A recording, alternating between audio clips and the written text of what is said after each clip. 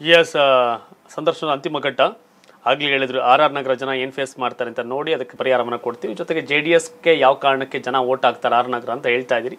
ಎದುರಾಳಿಗಳ ಬಗ್ಗೆ ಕೂಡ ಕಾಮೆಂಟ್ ಮಾಡಿದ್ರಿ ಫೈನಲಿ ಕರ್ನಾಟಕದ ಜನ, ಅದರಲ್ಲೂ ನಿಮ್ಮ ರಾಜರಾಜೇಶ್ವರಿ ನಗರದ ಜನ, ಯಾವ ಕಾರಣಕ್ಕೆ ಈ ಬಾರಿ ಜೆ ಡಿ ಎಸ್ನ ಬೆಂಬಲಿಸಬೇಕು ಅಂತ ಅಪೀಲ್ ಮಾಡ್ತಿರ್ತಾವೆ?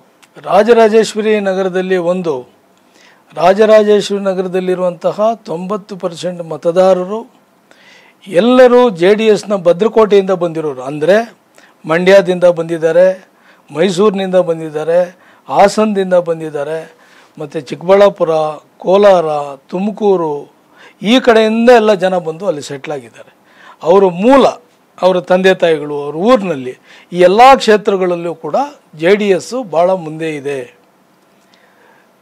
ತಾವು ಆಗಲೇ, ತಾವು ನೋಡಿದ್ರಿ, ಹೋದ ಎಲೆಕ್ಷನ್ನಲ್ಲಿ ಮಂಡ್ಯದಲ್ಲಿ ಏಳಕ್ಕೆ ಏಳು ಸೀಟು ಗೆದ್ದಿದ್ರು. ಹಾಸನದಲ್ಲಿ ಒಂದು ಸೀಟ್ ಬಿಟ್ಟು ಎಲ್ಲ ಗೆದ್ದಿದ್ರು. ಸೊ ಇದೆಲ್ಲ ಈ, ಆ ಕಡೆ ಜನನೇ ಬಂದು ಇಲ್ಲಿ ಇರೋದರಿಂದ ನಾಗಮಂಗಲದವರಾಗಿರ್ಬೋದು ಈಗ ನೆಲಮಂಗಲದವರಾಗಿರ್ಬೋದು ಕುಣಿಗಲ್ ಆಗಿರ್ಬೋದು, ಚನ್ನಪಟ್ಟಣ, ರಾಮನಗರ, ಮಂಡ್ಯ, ಇವರೆಲ್ಲ ಇಲ್ಲಿ ಬಂದಿರೋದ್ರಿಂದ ಅವರ ಮೂಲ ಸಿದ್ಧಾಂತ ಎಚ್ ಡಿ ದೇವೇಗೌಡರು, ಮಾಜಿ ಪ್ರಧಾನರ ಪಕ್ಷ, ಜಾತ್ಯತೀತ ಜನತಾದಳ ಪಕ್ಷ. ಅವರೆಲ್ಲ ಅದರ ಫಾಲೋವರ್ಸೇ ಆಗಿರೋದ್ರಿಂದ ಅವರು ಈಗಲೂ ಕೂಡ ಇಲ್ಲಿ ಏನು ಅವ್ರ ಮಕ್ಕಳು, ಮರಿಗಳು ಇಲ್ಲಿ ಏನು ಬಂದು ಸೆಟ್ಲ್ ಆಗಿದ್ದಾರೆ, ಅವರು ಕೂಡ ಅದೇ ಪಕ್ಷವನ್ನು ಮುಂದುವರಿಸ್ಕೊಂಡು ಹೋಗ್ತಾ ಇದ್ದಾರೆ.